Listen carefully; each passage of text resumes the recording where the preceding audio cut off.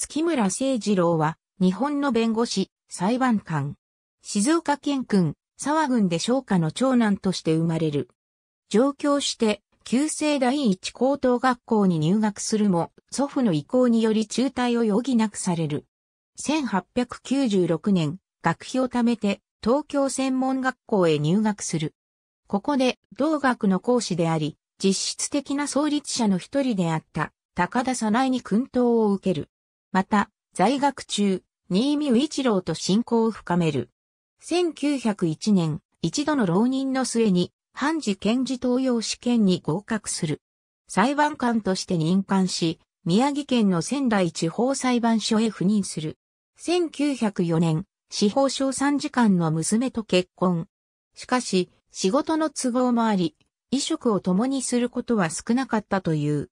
1910年代、糖尿病を患う。1916年には、夏目漱石の葬儀に参列する。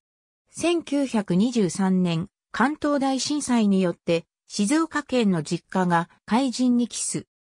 1932年、長崎高祖院での職務を最後に、任意で退官し、東京市神田へ移って弁護士として開業する。1942年、梅毒によって死亡。また、同年には、孫の銀一が、兵役中に、自己死している。